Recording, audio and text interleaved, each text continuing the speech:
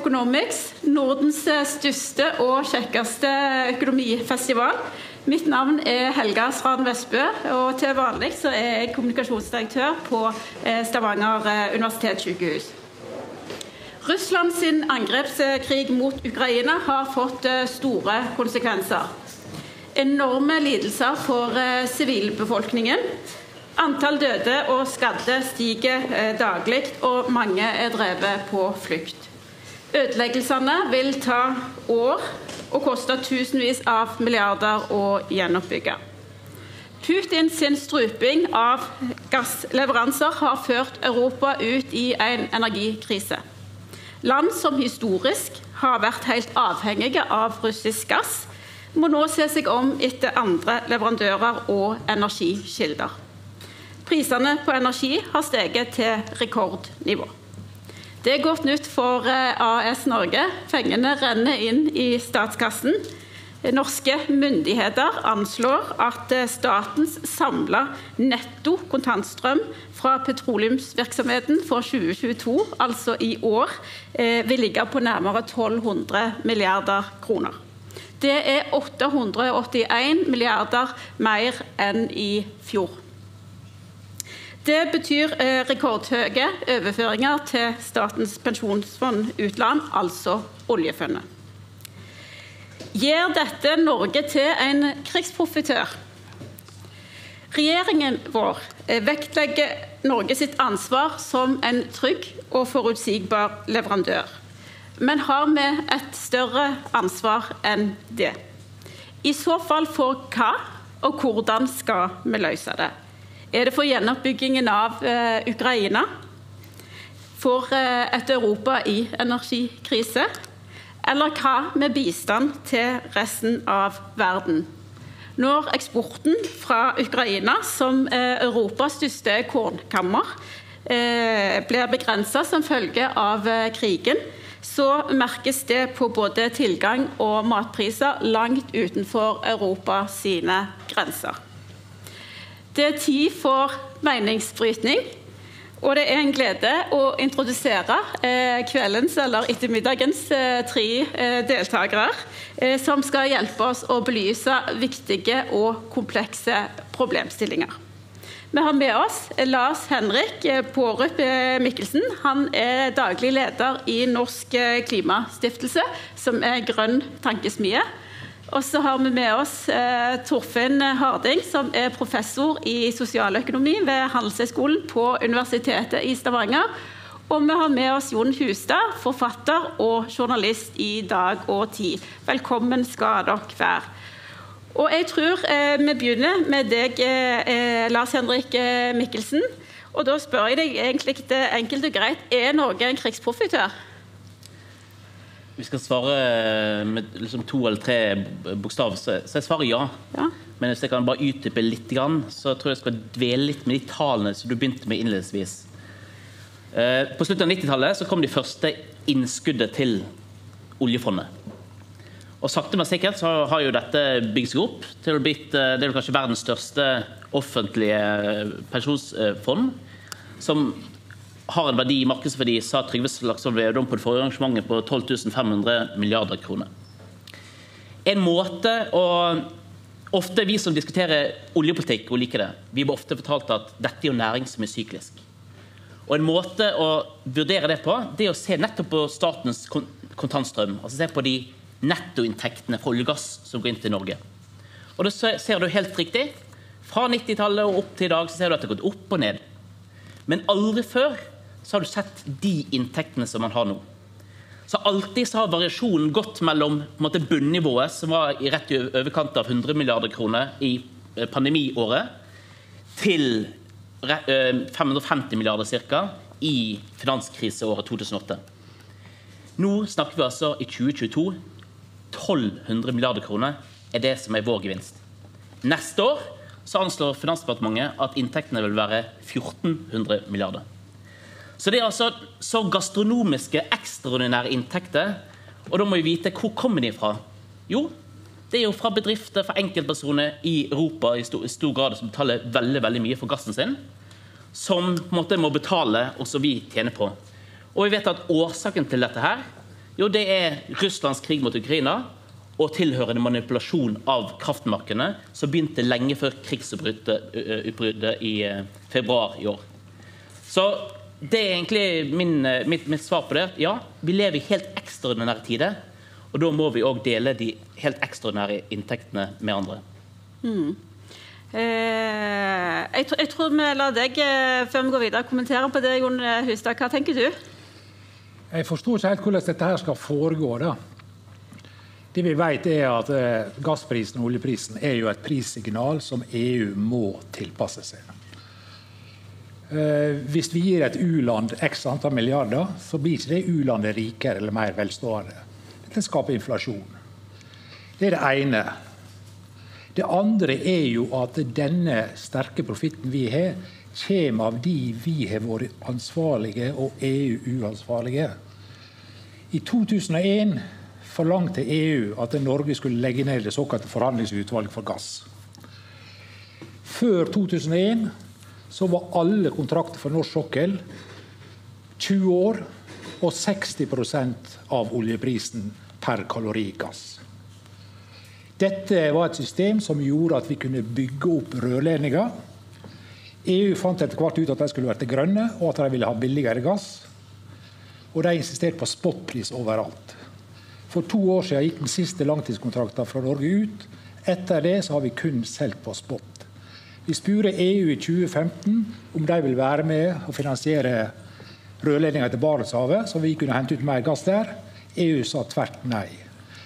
Nederland kan når som helst øke sin produksjon med 50 milliarder kubikk.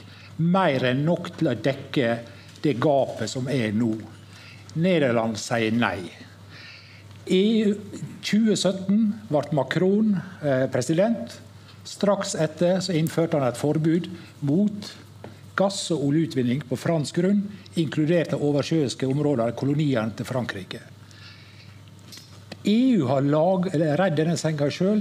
De må ligge i den, og de må tilpasses i realiteten. Jeg ser du har tenkt som replikk, men jeg har lyst til å slippe Torfinn til først. Altså, Hvis vi skal først snakke om gassmarkedet, siden så tenker jeg at uh, ja, det er høye priser nå. Det er etterspørsel etter gass, uh, behov for gass. Uh, og Norge har klart å levere på det. Det er en bra ting i utgangspunktet. Eh, er vi en profitør? Vel, eh, vi selger nå noe som er eh, veldig høy pris på. Så i den forstand er vi det. Men det som er mitt perspektiv på den debatten, er egentlig at vi må skille Det er en viktig innsikt i økonomisk liksom, teori, da, om du vil. Det er at man skiller skille inntekter og utgifter. Ikke sant? Det er og vi, jeg tror man gjør en feil med å tenke at ja, nå har vi disse ekstrainntektene knytta til denne krigen. Og det skal på en måte gjøre at vi skal eh, gi mer. Jeg tror det er mange gode grunner for å, å gi mer, eh, men det handler jo i stor grad om at behovet er stort. ikke sant? Om det er oppbygging av Ukraina, eller om det er hjelp til flyktninger, om det er eh, til andre europeiske land for den saks skyld. men jeg tror det er nyttig å skille de to tingene. Og vi får sjokk på formue og inntekt hele tiden. Ikke sant? Ja, det nevnes her uh, mer enn 1000 milliarder uh, høyere inntekter enn forventa. Oljefondet tapte 1700 milliarder første halvår. Så disse tingene, Det skjer masse sjokk hele tida. Hele oljefondskonstruksjonen er at vi klarer å skjerme norsk økonomi for disse tingene. Også uten disse ekstrainntektene på gass som vi har nå, så er vi et rikt land. Altså, vi har masse eh, muskler til å hjelpe eh, naboer eh, i nød. Sånn at jeg syns det er viktig å skille de to tingene. Mm. Og Vi skal snakke litt eh, mer om det, tenker jeg, og prøve å bli litt eh, mer eh, konkrete. Og En snakker eh, gjerne om, om eh, dette såkalte energitrilemmaet. Eh, Dvs. Si av, avveiningen og balansen mellom energisikkerhet, grønn omstilling og energitilgang. Dvs. Si at folk skal kunne ha råd til å få å skaffe seg den energien de trenger. Og Jeg har lyst å utfordre deg nå, Mikkelsen, som, som var tydelig på at Norge har et ansvar. Hvordan skal vi ta det ansvaret? Nei, altså det, For det første så må jo Stortinget erkjenne at vi lever i en ekstraordinær situasjon. Fordi at jeg er helt enig med deg Hvis dette hadde vært en, måte, en vanlig svingning, det var 500 milliarder eller 600 milliarder for seg selv, mot mindre måte, overføring til oljefondet i fjor Går du ett år tilbake, så skrev regjeringen at de forventer at netto kontantstrøm for oljevirksomheten den vil være på 277 milliarder kroner. Og så er han altså 1000 milliarder mer eh, enn det fordi at krigen i Ukraina. Og jeg tror at Det er ikke irrelevant hva som er skyld i den, altså den situasjonen vi er i nå. Går du tilbake til august i fjor, så ser du at hvordan Russland sakte, men sikkert begynte å håper si, drive vedlikehold for å strupe tilførsel av gass. Og så har det egentlig bare fortsatt, og så eh, eskalerte det med krigsutbruddet og de tingene som skjedde nå i sommer og i høsten. Og det er klart at Da kan man godt gå tilbake og si at eh, jo, man har gjort opp gjennom dårlige valg. Eh, og da kan du si at Det er dumt at uh, Tyskland har faset ut kjernekraften før de har gjort med kullkraften. Det er mange, mange tåpelige valg som er blitt gjort. Det tror jeg alle har vært enige om. Og Nei. at man har vært naive i forhold til den avhengigheten man bygde opp. Og Da er spørsmålet, da tenker jeg at jo, Verdensbanken eh, sammen med EU-kommisjonen, den ukrainske regjeringen, de kom med en rapport for eh, en måned siden så sa de at når de ser på de ødeleggelsene som ble gjort i Ukraina fra 24.2 til og med 1.6, så anslår de på en måte gjenoppbyggingskostnaden på 350 mm. milliarder dollar. Eh, det er én ting der du på en måte Norge kunne sagt at da har du en infrastruktur. For to dager siden var det toppmøte, EU-toppmøte i Berlin hvor man diskuterte europeisk Marshall-hjelp. Og jeg er helt enig at Det vanskelige spørsmålet er hvordan man skal gjøre det. Men det første er at norske myndigheter kan si at her har vi tjent så mye på den krigen som rammer oss. Vi skal levere vår del. Uh, og ikke beholde alle de ekstraordinære ja, inntektene selv. men jeg har lyst til, uh, om Vi skal komme tilbake til dette med ansvaret vårt uh, for gjenoppbygging av, av, av, Ukraina og bistand til, til Ukraina. Men, men hvis vi holder oss litt til Europa, den situasjonen som er, kan du være litt mer konkret? Hva mener du norske myndigheter skal gjøre i Europa? Enten det til, til, er det til grønn omstilling? er det ja. til Altså, den, den, eh, hvis noen fikk med seg eh, Jonas Gahr Støre sin utenrikspolitiske redegjørelse i Stortinget, så var han jo veldig tydelig på at den eneste langsiktige løsningen på krisen Da han kortsiktig nå med å takle utgifter og kost, høye kostnader, eh, og du må få tilgang til nok gass. Men den egentlig langsiktige løsningen det er å forsere et grønt skifte. Det er den eneste svaret. Mm. Og Da betyr det solenergi, da betyr det vind, eh, vindenergi, da betyr det òg eh, energieffektivisering. Og du kan ta noe så konkret som at For hver ti millioner eh, elektriske varmepumper du installerer, så kan du redusere gassforbruket med 12-13 BCM, milliarder kubikk, standardkubikkmeter. Og Det er klart at det er så konkret. Norge kunne sagt at eh, til fattige land i Europa, vær så god, dette skal være med i bidrag til at dere kan gjøre dere mindre avhengig av fossil energi fra Russland med at en skal overføre penger? Ja, hvordan Det altså det mest beste vil nok være via EU. For at EU allerede har program, de har fond, de har nett, strukturer, som gjør at dette skal jeg, komme til de landene til gode. Men jeg er helt enig i at hvis vi kan bevege oss til hvordan man skal gjennomføre det, så er jeg veldig fornøyd. For Hvis man er enig om at man har et ansvar med å fordele noe av den krigsprofitten uh, med Europa, så tenker jeg at da har vi tatt et godt stykke på vei. Men Norge er ikke der i dag. Du var litt inne på det selv eh, innledningsvis, dette med Tyskland. At uh, Tyskland har stengt ned atomreaktorer. Og uh, planen har vært å, å uh, erstatte atomkraft og, og fossile brensler med fornybare energikilder over tid. men at en ser nå at, at, at det ikke lar seg løse på, på kort sikt. Eh, Tyskland representerer jo et av de rikeste og mest industrialiserte landene i verden. Tenker du at vi skal bistå Tyskland? Nei, jeg tenker, sånn, at, jeg tenker at, Tyskland er i en særstilling. Frankrike altså, har langt større, sterkere økonomi enn det andre land er. Ja. Så jeg tenker at eh, de, landene, altså, de pengene må jo da gå til land som har mindre betalingsevne enn det Hva land tenker du da i Europa? Nei, altså det kan være, eh, Nå så jeg f.eks. på kostnader brukt til å kompensere bedrifter og næringslivet sine land. Men ta land i Øst-Europa, f.eks. Bulgaria, det kan være Romania. Det kan være, det kan være mange land som vil hjelpe. Men her har EU òg. De har solidaritetsfond, de har infrastruktur nettopp skal gå til hjelp til landet. En hovedproblem i EU i dag det er jo det at land som Sverige, Danmark og de rike landene de stritter litt imot disse fondene til EU. EU-kommisjonen foreslår, fordi at de er redd at de må ta hele regningen sjøl. Det er da jeg tenker at nå kan Norge, eh, nå kan Norge komme og si at hva, vi skal betale litt tilbake, og da skal vi, kan vi godt bruke den infrastrukturen som dere har etablert, men vi skal bidra med det økonomiske spleiselaget. Torfinn Harding, er det en god idé å overføre penger fra Norge til noen av de fattigere landene i Europa? Det kan være en kjempegod idé. Det er jo først og fremst et politisk spørsmål. da. Men det mener jeg skal Vi må skille som sagt de to diskusjonene.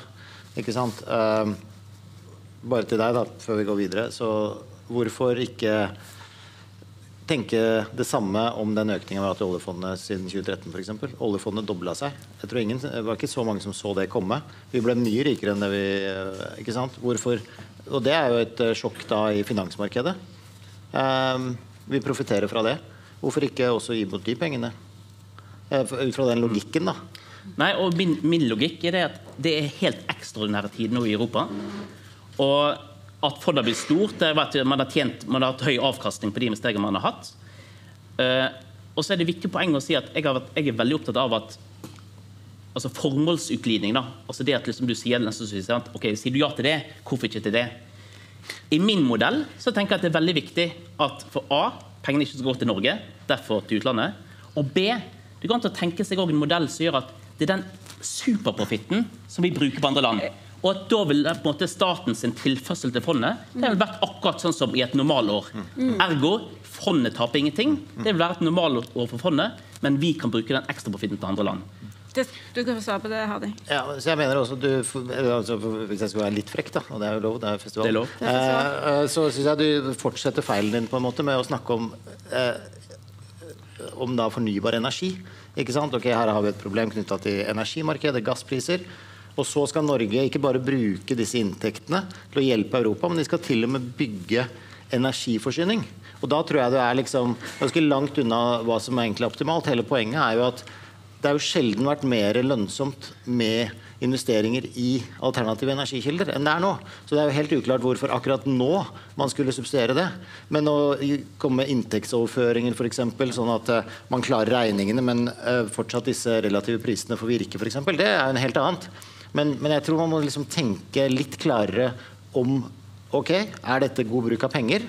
Hvordan finansierer vi det? Og Før jeg, eh, jeg slipper til deg, Jon, så har jeg lyst til å utfordre deg litt videre på det sporet. Ja. Eh, eh, Harding, sånn som jeg skjønner deg, så, så, så er det ikke noen større grunn nå enn det kanskje for ett år siden eller to år siden at vi skal bidra internasjonalt som et, et rikt land, hvis jeg tolker deg riktig. Men det, og mye av det er ganske riktig, som du sier, opp til, til våre styrende myndigheter og politiske spørsmål.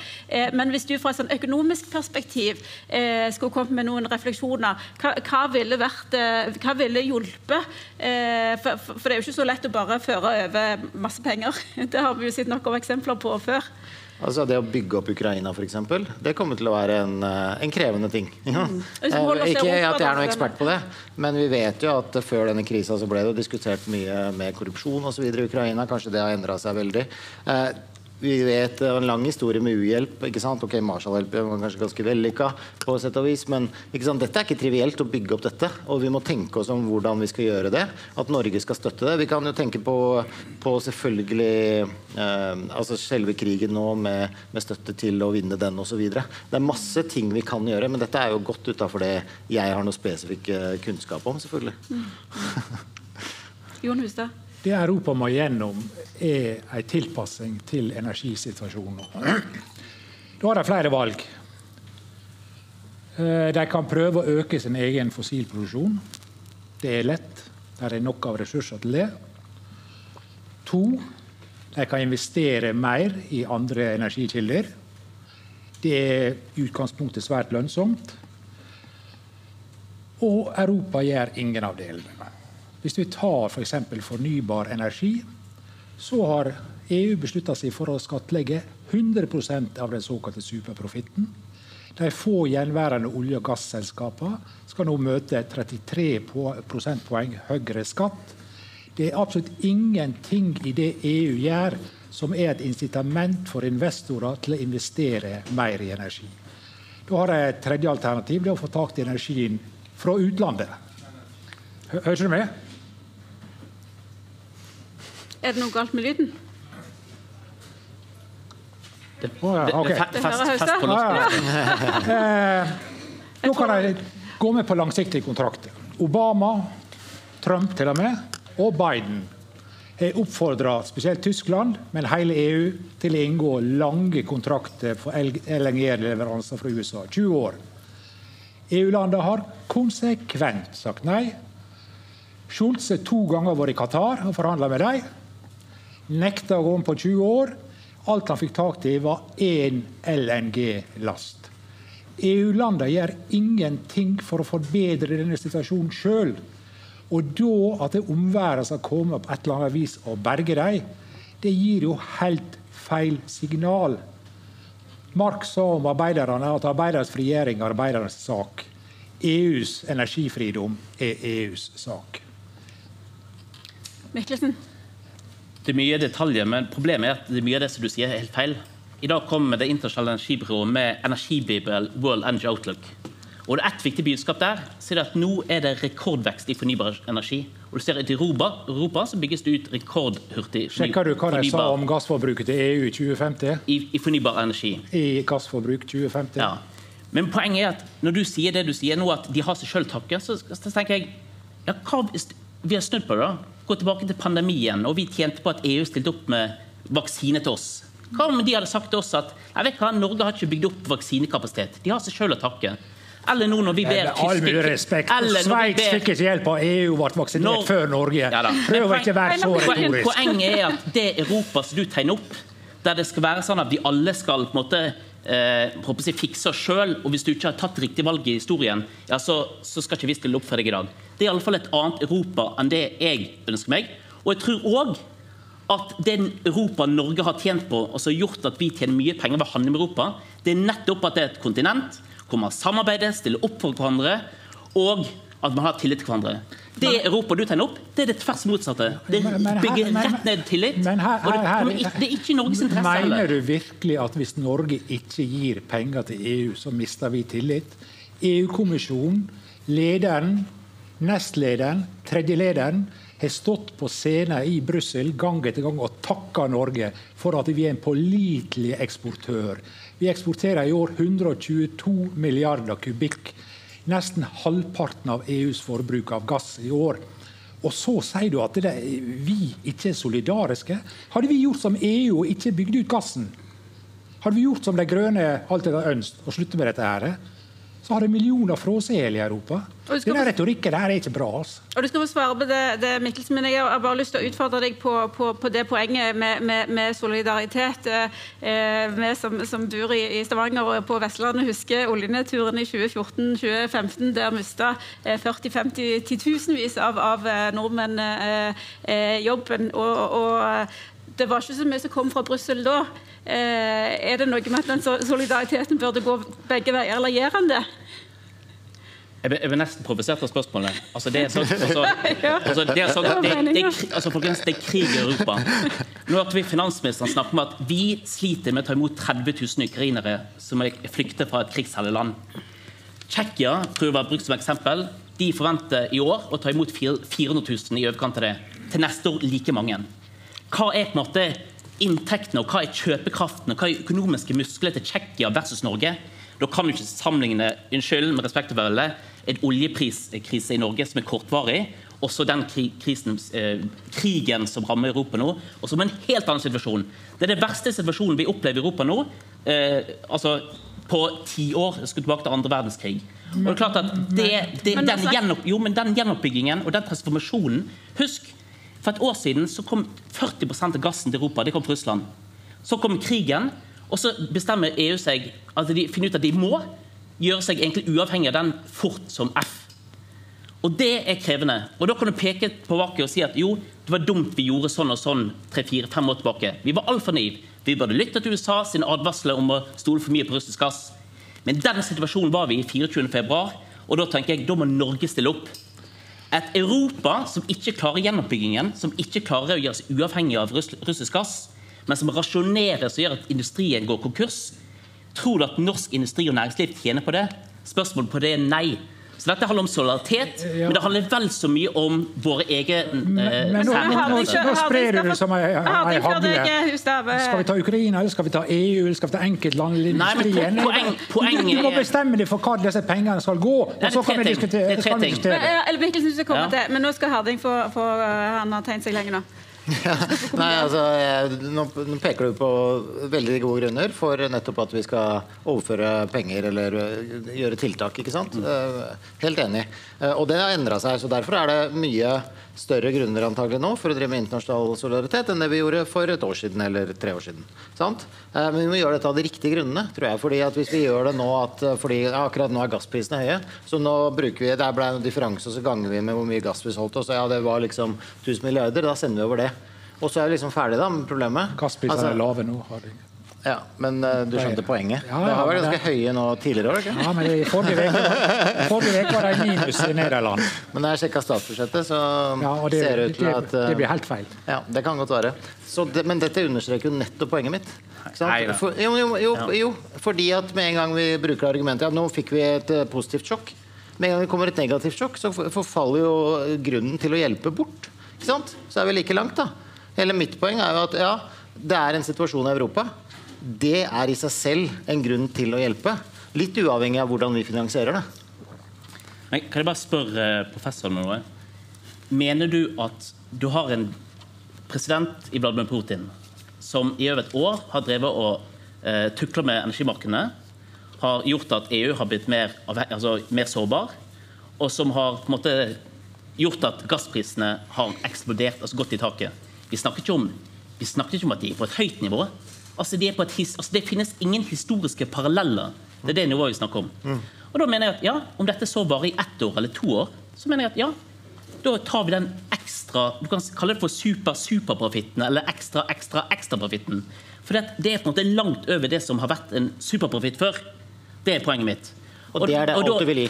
Nei, nei og da, da, mener jeg at nei. Og jeg mener at dette skal komme i tillegg til de ordinære tingene vi gir på statsbudsjettet osv. Men jeg sier jo, påpeker at grunnene til å gi nå er mye større. Helt uavhengig av hvor vi har inntektene fra. Jo, og i dag så har Norges bidrag, det vi har løft, uh, gitt lovnad om til Ukraina, vet du hvor mye det er på to år? Nei, 10 milliarder kroner. Ja. ja, jo. Men jeg står ikke her som og forsvarer at vi ikke skal gi. Jeg, sier bare at i størrelsesforhold, når vi sitter med 1000 milliarder kroner som vi ikke hadde regnet med vi skulle få neste år sant? Så hvis du hadde tatt, måte, sagt at du tar snittet de siste 20 årene, da har, vi, vi klart å sette inn på oljefondet 354 milliarder kroner 2022-kroner hvert eneste år. Og så kan du si at ok, vi gjør det samme da i år til neste år. Og det som er overskytende, det bidrar vi til gode formål. Og jeg har tre, jeg har tre gode formål, men det kan vi komme tilbake til. Ja, det kan komme tilbake. Så tror jeg fortsatt vi skal skille litt mellom å gi bistand eller gi, gi penger til Ukraina og det som skjer i Europa. Ja, for, men jeg vet ikke lenger hva vi diskuterer. Vi fikk vite at det næringslivet er i ferd med å konkurs. Vi fikk vite at det skulle gå varmepumpe til Bulgaria. Vi får vite at vi må stille opp for flyktninger. Vi får vite at vi skal gjenoppbygge Ukraina. Hvis du greier å konsentrere deg om én ting, så kan vi diskutere det. Synes det er litt lettere. For nå sprer, du, du skyter med hagle her.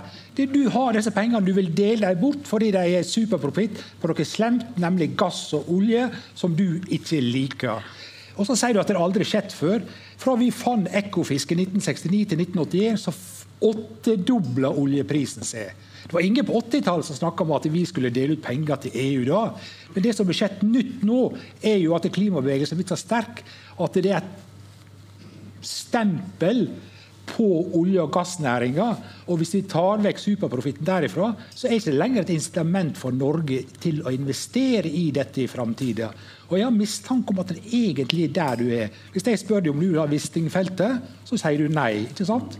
Helt riktig. Ja, så da er så forutsigbar. Men, men, men, poenget er at hvis du, hvis du sier at jeg sprer meg over, over temaet Spørsmålet er innholdsvis tjener Norge på krigen. Ja. Mitt svar er ja, og vi tjener helt enormt. Spørsmål to er hva gjør vi med de? Og da er spørsmålet, sånn som jeg forstår deg, Du sier at vi skal beholde de sjøl, for at Europa har tatt historisk dårlig valg. Det er ikke sagt. Jeg sier den ekstraprofitten skal vi bruke på andre gode formål. Og så kan vi diskutere godt diskutere hva Jeg er bare for jeg har sagt med en gang jeg er for å gi masse til Ukraina, og jeg er imot å gi en eneste krone til EU. Bare så du veit dette. Og Hvis vi fortsatt holder oss litt til, til EU og, og, og Europa da. Skal, nå skal du få eh, sjansen, Mikkelsen. Du sa at, at du hadde tre gode, gode, forslag som var konkrete. Nei, ja, jeg, nei jeg, jeg erkjenner at det vanskelige spørsmålet og Det var faktisk to økonomer i Dagens Næringsliv så nå eh, på veien som hadde skrevet akkurat en artikkel om det samme. Vi må dele av eh, ekstrainntektene. Jeg husker ikke helt hvem det var. Men de sier òg det at hvordan sitter der. Ene sitter der, ja. Men som de påpeker, da, og det er jeg helt enig i Spørsmålet er jo hvordan, og det er jo det vanskelige. Sant? Hvordan skal du gjøre dette på en fornuftig måte? Du har nok av eksempler der du har på en måte delt ut penger, sant? og det er ikke kommet eh, til nytte. Så det er jo egentlig, så hvis vi kan flytte debatten der, så tenker jeg at det er en kjempeseier. For jeg, ikke, jeg er ikke forelska i ett bestemt tiltak, men jeg tenker at det er i alle fall tre gode formål. Det ene, helt åpenbart, det er Ukraina. Altså, de kostnadene som jeg skisserte i sted, 350 milliarder dollar, det er altså før Russland begynte nå systematisk å teppebombe infrastruktur. Ta strømforsyningen, ta annen kritisk infrastruktur. Så den kostnaden kommer til å være helt enorm. Og behovet òg kommer til å være på kort tid. Akutt behov for penger. Det er det Norge må bidra med. Det andre det er at vi må hjelpe våre handelspartnere, våre allierte, våre naboer i Europa om å forsere et grønt skifte. Og Da tenker jeg at da er det ikke Tyskland først og fremst som trenger våre penger, men da er det veldig mange av de andre 26 eh, landene da, som, eh, som vil ha behov for penger. Og jeg tror at Det er viktig å tenke på at behov, altså ønsket i andre land er like stort om å få kompensert høye energipriser. Forskjellen er at land som Tsjekkia eller Polen eller hva det måtte være, de har, har en helt andre forutsetninger for å kunne gjøre det. Og Derfor mener jeg også at eh, når du sier at det er så lønnsomt å bare investere i fornybar energi, jo, det er likevel behov for penger det er derfor EU-landene sliter litt med å bli enige om skal vi øke fornybarmålet. Og tredje, det er den største konflikten når verdens toppledere skal møtes nå i Sharm el-Sheikh til klimatoppmøtet. Det er et løfte gitt i 2009 om, om, at verdens rike land skulle mobilisere 100 milliarder dollar per år til klimatiltak i fattige land innen 2020. Status i, 20, i 2020 det var at vi hadde klart 80 milliarder dollar. Og Det er altså en av de største konfliktene, altså problemene i eh, internasjonale klimaforhandlinger, som egentlig er en tullekonflikt om småbeløp. Og Det er et eksempel på at en nærstående eh, forestående begivenhet hvor jeg tenker at Norge kan komme og si at hør her, vi putter i litt mer penger til det formålet. Og vi oppfordrer Canada, Australia og andre som tjener penger på fossil energi, for eksempel, om å gjøre det samme. Så Poenget er at det er nok av gode formål, men vi er enige om at det er riktig å bruke det ekstraprofitten vi har i dag, krigsprofitten, så kan jeg godt være med og diskutere detaljene i hva vi skal bruke. Og så bare lurer jeg på da, og, eh, eh Mikkelsen, eh, Hvis en diskuterer energisikkerhet, hvordan tenker du at Norge skal bidra til energisikkerhet i Europa på kort sikt? Nei, altså umiddelbar kort sikt så må vi fortsette på det vi har gjort i dag. Kunne levere så mye gass som mulig. Ja. overhodet mulig. Men vi må ikke gjøre den der feil feilen å tro at det kortsiktige behovet det er jo på en måte en, eh, si, grønt lys for å gå i gang med prosjekt som har en vanvittig lang tidshorisont. Så vi må, Hovedutfordringen i Norge nå er at vi må skille mellom det akutte kortet og det lange. Og det er helt to forskjellige perspektiver. Ja. Eh, da, men en, eh, hvis, eh, tenker du at en skal fortsette å lete, lete etter mer olje og gass i Norge på sokkelen? Nei, man, du må skille mellom det korte og lange. Ja. Det å gå i gang med prosjekt som Wisting, langt utenfor eksisterende infrastruktur, som tar veldig lang tid, og for øvrig så er det olje og ikke gass og det gass Europa trenger nå, så jeg at det er en helt annen skål enn å bygge opp noe i nærheten av eksisterende infrastruktur som du kan få opp veldig, veldig kort tid. Mm. Men det langsiktige, og også egentlig kortsiktige, det er òg å hjelpe til å bygge ut mer sol, vind, energieffektivisering i Europa.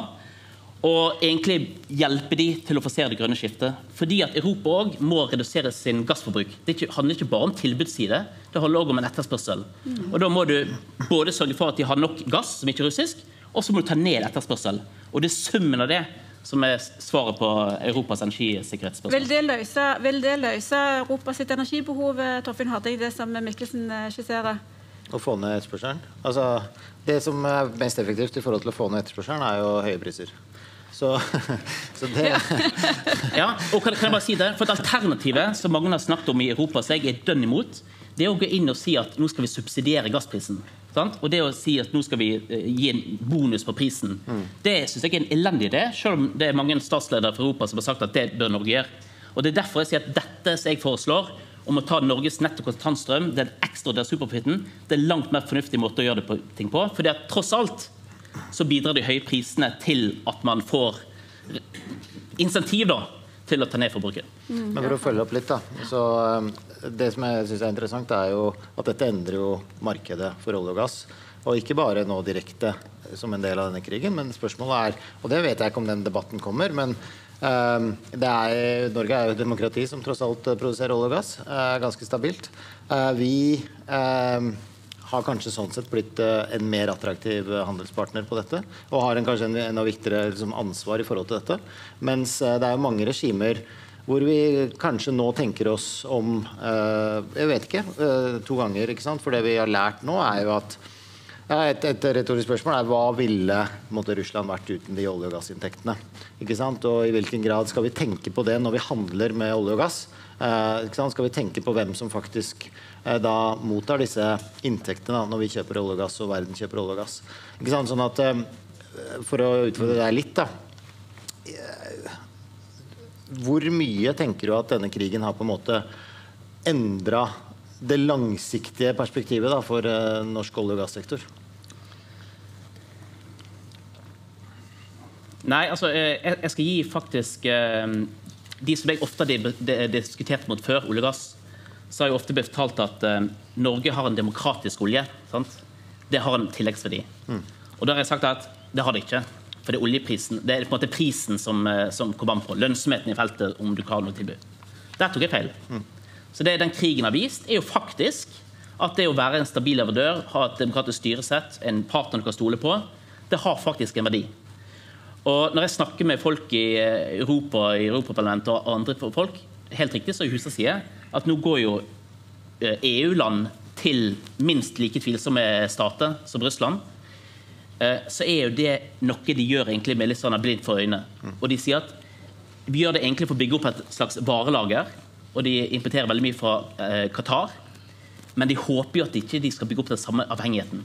Og Derfor er det det at når du ser på, på toppagendaen, ja, så er det jo gitt ros og klapp på skulderen til norske politikere, sånn at vi skal liksom føle at nå virkelig står vi opp for Europa. Men det de egentlig står og vil ha, det er å kvitte seg med avhengigheten av gass. Dette er jo en kostnad for Europa. Så dette er ikke noe de, de, de ønsker seg. Nå må Hustad få slippe til. Ja, det Jeg vet ikke helt hvordan jeg skal prøve å formulere dette her, men vi har oljefondet. Og så snakker vi om superprofitten, og så snakker vi om at Europa trenger kapital. Ja, men det er jo også et faktum at halvparten av det vi får inn i oljefondet, reinvesterer vi i Europa i form av kapital. Det er ikke en eller annen sekk med gull som vi gjemmer opp, opp på Svalbard. eller noe sånt. Vi pløger disse pengene tilbake til kundene. Dermed, hvis så sant det er profitt i grønne investeringer, så kommer de. Markedet kommer til å finansiere disse. Men når EU tar superprofitten fra de grønne næringene, når de endelig tjener litt, så skaper EU en dramatisk mye høyere usikkerhet. Og Når EU nå har vedtatt at de skal innføre pristak på importert gass, det blir bare rørgass, norsk gass, så går profitten dramatisk ned for Norge. Og så blir incitamentene færre for oss. Og det er disse åra med superprofitt som virkelig gjør næringa lønnsom. Sånn som vind alltid måtte subsidieres, men i fjor og i år er det blitt skikkelig lønnsom. Og da smeller det til med skatt på superprofitt. Dette er et investeringsklima som er ødeleggende både for gass, for vind, for sol, for atomkraft. Og Det er derfor jeg sier at EU må nesten lære dette på den harde måten. De må lære seg å gjøre det rette som Norge har gjort i 50 år. Og når de har 50 milliarder i produksjonskapasitet i kubikk i Groningen-feltet, som de ikke tar i bruk, ja, da blir jeg nesten Jeg blir veldig oppgitt, jeg. Men, men vet jeg, jeg vet ikke hva som gjør meg mest frustrert. Det er på en måte europasynet ditt. Det, har på en måte, det kjenner jeg til gjennom å lese kommentarene dine. Men det andre er at du sprer om det med sånn halv, veldig mye sånn halvsannheter. da. Og du kan ta for eksempel, det, det sier du? Nei, altså nå kommer du nå, Oi, oi, oi. Nei, nei, men jeg skal, jeg skal bare ett et eksempel, et eksempel. Som bare viser nyansene. For du sier at Nederland de kan bare skru på en kran, så kommer det veldig mye mer gass. Skal du snakke om jordskjelv? det helt, det det er helt riktig. Grønningen-feltet har de eh, bestemt å legge ned. Poenget er at dette er et område som når dette var aktivitet, så er det kjempemye altså jordskjelvaktivitet som skaper veldig mye furore, uroligheter, påvirker veldig mange lokalsamfunn. Og så kan du si at Det er dårlig gjort av de, men det er, en, det er en grunn til at de har gjort det. Det er rett og slett for at det har så store negative konsekvenser for befolkningen der. Og Det er en detalj som var med. da, at Det er ikke bare sånn at de, kunne bare, de har bare bestemt seg for å skru av en bryter. Og så er den superprofitten som du har trukket opp to ganger. Det er helt riktig det. At de har sagt at energiselskap må betale en ekstraordinær superprofitt på gjennomsnittet av inntektene sine siste tre år, pluss 20% 33% Equinor slipper det, norske selskap slipper den skatten. Men for Romania så er det det som finansierer at de kan gi støtte, energistøtte, strømstøtte til bedrifter og enkeltpersoner. Og så kan du gå til- men- avviser- du at dette ødelegger incitamentstrukturen? poeng- Poenget er bare at du kan gå til Romania, da, gå til andre land, så kan du fortelle dem og belære dem hvordan de burde finansiert eh, strømstøtte eller energistøtte til sin befolkning når de ikke har de inntektene som det Norge har. Det er ikke lett. Og da gjør de egentlig det som eh, Trygve Slagsvold Vedum-regjeringen har gjort. De har sagt at ok, her er det noen ekstraordinære inntekter vi beskatter. Og Det må du ha forståelse for. Det er ikke sånn at de er dumme, eller at de liksom bare ikke har lært seg forstått hva Norge gjør. Det er ikke sånn det, er ikke sånn det fungerer. Det er en grunn for at de har gjort disse skattene. Og så er det en Ja, bare ja, men igjen da, så si- sier du at eh, Ja. Norge skal komme inn og kjøpe varmepumpe. Og så samtidig så sier du at Romania er nødt til å gjøre dette. Er du helt sikker på at de er nødt til å gjøre dette? I stedet argumenterte du mot å gi noen form for subsidier på gassbruk. Skal du skille mellom elektrisitet som er ren i Romania, eller elektrisitet som er produsert fra gass? Det blir så mange slagord ut av dette. her. Du må nesten ha en mer gjennomtenkt plan enn det du presenterer her. Skal du kan svare helt kort. Ja. Vi må videre. Jeg, jeg prøvde å si i sted, da, men for meg, jeg har ikke noe detaljert plan for nøyaktig hvilken konto vi setter i pengene. Eksempel med varmepumpe det er hvordan det slår direkte ut på gassforbruket. At det er et viktig tiltak. Og så er spørsmålet til oss hvordan kan vi da støtte opp under sånn samfunnsutvikling. Og så er det bare én viktig, en viktig forskjell i det jeg foreslo i begynnelsen. Og det er at oljefondet sine inntekter det var I begynnelsen så var det på en måte tilførsel fra overskuddet som staten hadde på eh, olje- og gassinntektene våre. Det pløyde vi inn i oljefondet, og det er en velsignelse for Norge i dag. Sakte, men sikkert så er avkastningen fra fondet det har blitt en viktigere inntektskilde for fondet. Det jeg sier, det er at Hvert år setter vi inn penger på fondet. og det Jeg sier at jeg sier ikke vi skal ta ut penger fra oljefondet, men jeg sier at de pengene som vi normalt setter inn, så blir ikke det 1200 milliarder kroner, men det blir kanskje 350 eh, milliarder kroner. Så Det er ikke, det er ikke snakk om å på en måte åpne en ny sluse fra oljefondet inn til alle mulige slags gode formål, men jeg sier bare at det er ikke riktig at vi skal sette dette på bok når verden rundt oss har så store finansieringsbehov. Mm. Men for å komme deg litt i møte på den ideen, da, så det, sånn jeg tenker på det, er jo at det sterke argumentet for å gjøre det på den måten, det er jo et mer sånn politisk økonomiargument. At du kan forklare hvorfor vi skal sette av disse pengene. At det liksom kan politisk fungere i Norge. da. Jeg mener sånn Rent fagøkonomisk så, så er det ikke liksom vits å tenke sånn. altså Penger er penger. Eh, og vi må alltid tenke ikke sant, hva er god anvendelse. Men, eh, men, eh, men det er politisk økonomiargument. Et annet politisk eh, side av dette, som selvfølgelig vi må ta på alvor, er jo Men dette er også utenfor mitt fagfelt. Men når Economist har forsider om at vi er krigsproduktører, så må vi måtte forholde oss til det på et eller annet vis. Og så kan du lure på hva er den beste måten å forholde seg til det. Men det mener jeg det er klart at det er noe som Norge liksom må forholde seg til. Og, og, så har jeg lyst til at vi vender blikket litt eh, utenfor, eh, ut, utover Europa. Eh, Du var inne i det innledningsvis. Vi står foran et, et, et, nytt klimatoppmøte i eh, Egypt eh, om et par eh, uker. Det er vel COP 2020. Eh, I går så kom eh, FN klimakonvensjon med en ny rapport møte som, der de fastslår at de nasjonale utslippsmålene som verdens land har fastsatt, ikke er nok til å nå de internasjonale klimamålene. Og det jeg lurer jeg har lyst til å spørre det først, Jon, Jon Hustad, Hva bør Norge ta med seg inn til dette klimatoppmøtet? Har vi et, et, et annet ansvar der, og i så fall hva slags? Eh, vi skal love om været at vi skal fortsette å leite og produsere gass som slipper ut en tredjedel av det tysk brunkål gjør i CO2, og som er helt nødvendig for at Europa skal kunne satse på vind og sol. I tillegg Skal vi komme inn på Ukraina nå? Får jeg lov å si noe? Det får lov. Og I tillegg så har jeg lyst til at Norge skal annonsere at vi gir 500 milliarder til oppbygging av Ukraina. 500 milliarder? Ja, Det er absolutt på sin plass.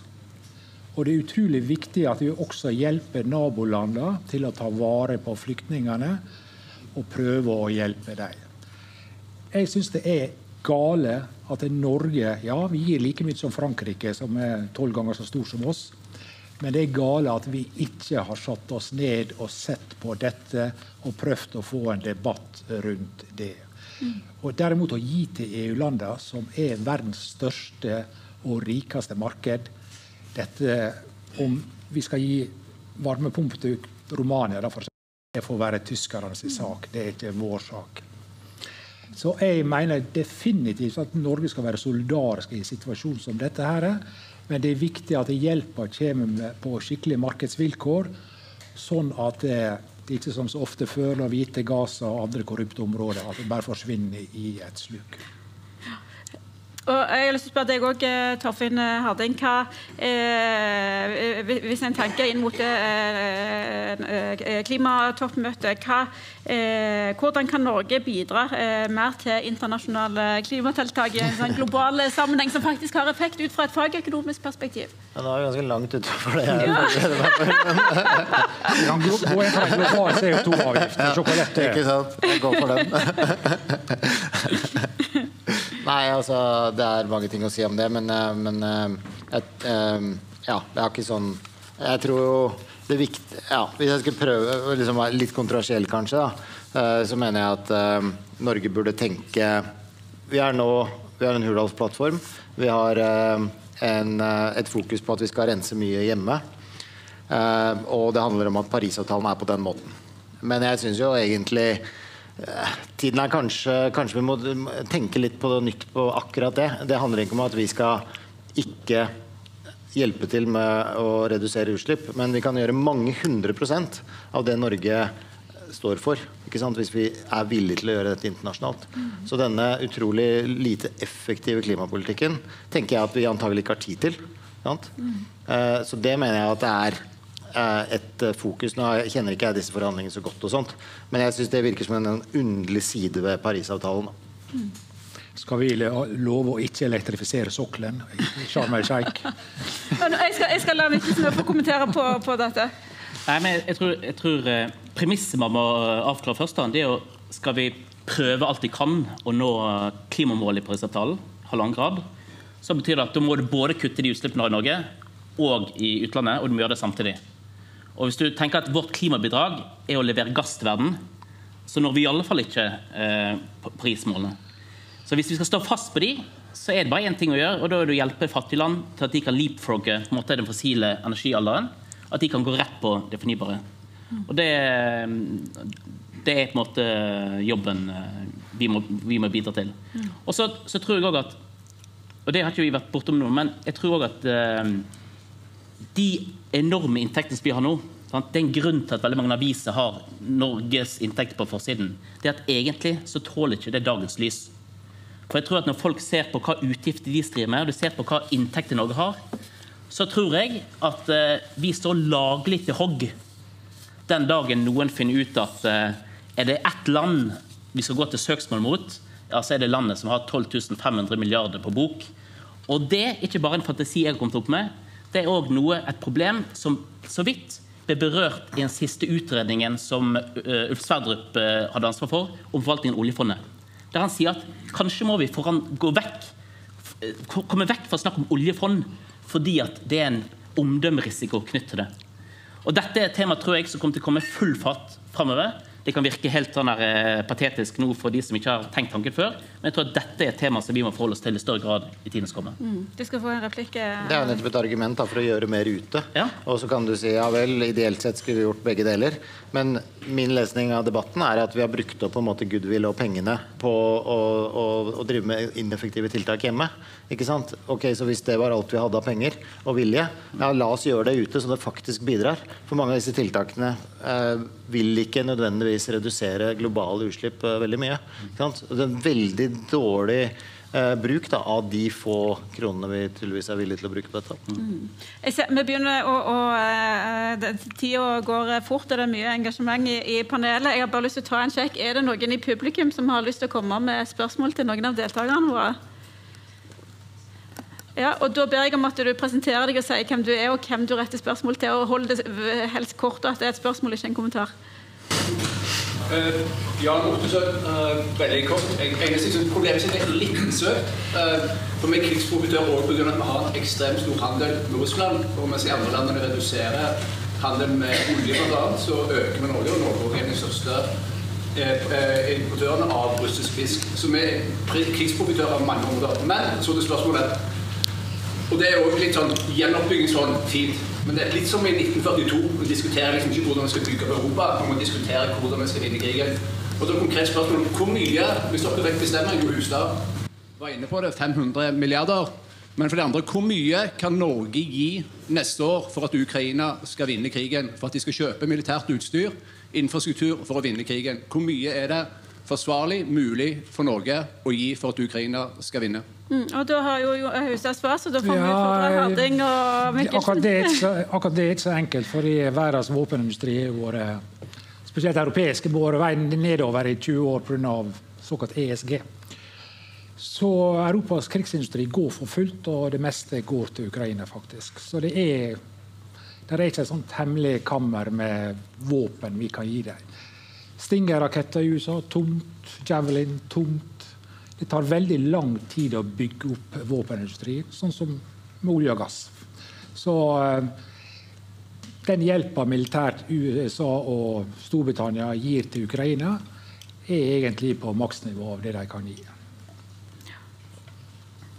Og nå har, du fått svart, og jeg tror vi må gå inn for landing, for vi nærmer oss eh, tida. Så jeg eh, lurer på Jeg så ikke noen flere spørsmål heller. Det var et spørsmål der, ja. Et veldig kort et siste? Altså, Innkallingen her, eller på debatten, er jo 'Krigsprofitører Ekman Sjøbest som dere'. Det har vært mye klimapolitikk som iallfall forstår noe helt annet. Eh, kunne vi ikke bare få som en oppsummering en reaksjon på det Jon Hystad foreslo fra de to andre debattantene? Det var jo det egentlig saken skulle dreie seg om på det han foreslo mot uh, Ukraina? Ja. Forslaget til om 500 eh, milliarder pluss uh, delta i å støtte flyktningmottak i andre land. Ja, helt fint. Og jeg tror at vi skal gå inn for en avrunding og avslutning, så jeg skal gi dere to minutter hver til å det, så. oppsummere. ja, så da, og du har fått svart ganske grundig allerede, så da Lars Henrik Mikkelsen. Ja, og jeg, altså jeg, jeg har ikke noe forutsetning for å si det som hva er riktig tallet. da men jeg, jeg, jeg, i min verden så tenker jeg at vi har en veldig stor ekstraprofitt nå. Si at den er 8000, 1100 altså Tall er ikke det veldig viktige, men det er prinsippet. Og da tenker jeg at, eh, at veldig mye av det skal gå til Ukraina, gjenoppbygging. og Jeg kan godt være med på 500 hvis det er på en måte tallet. Og så mener jeg òg at vi har eh, eh, ansvar for å hjelpe europeiske land om å forsere grønt skifte, og utviklingsland. Så jeg sier ja takk til 500, høyne med 500, fordelt på to andre tiltak. Ok, Da skal du få siste kommentar, eh, Torfinn Halling. Det blir litt sånn tenk på et tall, og det har ikke jeg tenkt til å gjøre. Jeg mener at, eh, og Hustad bringer opp et viktig poeng. ikke sant? Det er ikke sånn at det er en butikk eh, i nabolandet der vi kan kjøpe opp gjenoppbygging. ikke sant? Det skal organiseres, det skal utføres av folk. Det, skal, det er en svær operasjon. ikke sant? Sånn at det er ikke, bare, det er ikke bare penger som trengs. Ikke sant? Det er ikke opplagt engang at det er pengene som kommer til å bli mangel på. ikke sant? Eh, så, så jeg syns det, synes det blir litt sånn teoretisk eh, debatt. Jo, men du snakka i stad om vår omdømmerisiko. Ja, ja. Så hvis du vil kvitte deg litt med omdømmerisiko, så tror jeg at tenk på et konkret tall er noe omverdenen vil oppfatte, i stedet for at du snakker om knappe ressurser og Kanskje mulig avkastning. Men, eh, men jeg tror eh, Ja, absolutt. Og viktig å bidra og så godt vi kan. Men eh, det er også viktig Vi må alltid sørge for at vi får mye ut av de pengene. Ikke sant? På alle Helt måter. Ja. Eh, og dette er et eh, tema som jeg garantert kommer til å være veldig aktuelt i lang tid framover. Eh, tusen takk til publikum, alle dere som kom. Eh, og Og ikke minst må vi si tusen takk til panelet vårt. Eh, Jon Hustad, eh, Torfinn Harding og eh, Lars Henrik eh, Mikkelsen. Tusen takk skal dere ha.